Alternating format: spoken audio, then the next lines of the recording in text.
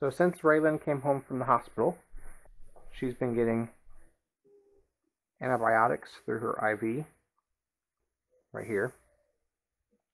So today I'm going to show how we give those uh, antibiotics to her. Start by washing her hands.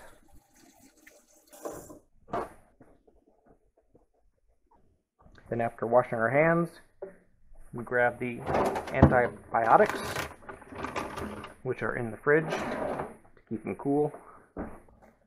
Then to start, grab a couple supplies here. Need an alcohol swab and a saline syringe. We're going to open it up now so that when we're starting to do this process, it doesn't slow us down to open it. Start by taking off the green cap and cleaning it with alcohol for 15 seconds or thereabouts. No less than 15 seconds. Raelynn, I'm sorry you're not feeling good.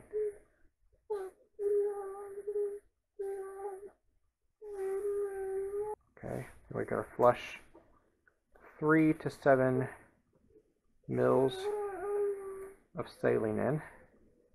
We pull back on the syringe a little bit in order to make sure we don't have any air bubbles. Then we push the air or the air out and make sure we have a good bead of saline at the top there so that we know all the air is out. Put it on, make sure it's un unclipped right here. And push in three to seven mils. I usually do five. Okay, after that, we're going to put in the antibiotic.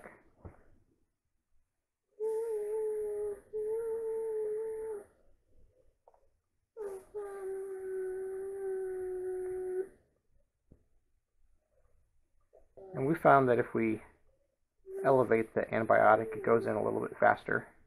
Just un unclip it right here. And it's a it's not a gravity thing, but this somehow has pressure on it that pulls uh, pushes the um, antibiotic through the tube. The sphere antibiotic thing. Alright, we're going to put that here. And then it goes for about an hour. We usually let it go for about an hour and a half. Make sure all the antibiotic goes in. So I'll come back in an hour, hour and a half, and show the unhooking process as well. What's wrong, sweetie? What's wrong? 20 minutes later. All I did was change her diaper and then she was feeling much better. Maybe she was just upset that she was sitting in a wet diaper. It could be all it was. One hour later. Okay, it is an hour and a half later now. So it's time to uh, undo her IV. I need to wash my hands again. So important to wash your hands because when dealing with a PICC line, uh, we want to keep any chance of infection um, to an absolute minimum because infection going into her bloodstream like that would not be a good thing. You can see from the, the end state of the um, IV bag, bulb, whatever it's called, that it's, it's deflated. And actually, it's even more deflated than you can see because this is actually just kind of air inside there. So once again, we're going to open up what we need. This time we have in addition to a saline syringe, we also have uh, heparin. And we have a green stopper afterwards. And we also have another alcohol swab. So once again, going to open everything up. And this time we're going to swab it before taking it off. Once again for about 15 seconds or so. Okay. Then we're going to use the saline first. So we're going to disconnect the IV.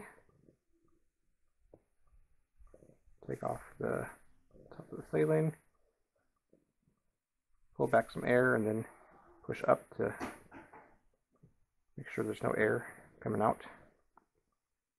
Once again, about 3 to 7 mils. I usually do 5. After the saline, we'll use heparin. Pull back and push up but all the air is out. We use one and a half mils of this. And we were given a three mil syringe of it. We just use about half of it, one and a half mils. After you disconnect that, we're going to use one of these green stoppers just to keep everything clean there until the next time we have to use it. We're all done. If you're interested in this kind of content, I encourage you to uh, check out the link in the description. Uh, I have a friend, Stephanie, in the UK who uh, has to take care of her Hickman's line all the time, so uh, she does something very similar, similar process there. So I encourage you to check her out. All right, take care. God bless. Feeling better, Waylon?